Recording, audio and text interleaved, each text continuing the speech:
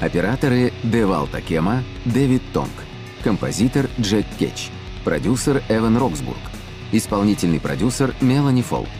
Озвучено студией Lucky Production Санкт-Петербург по заказу русской службы BBC в 2021 году.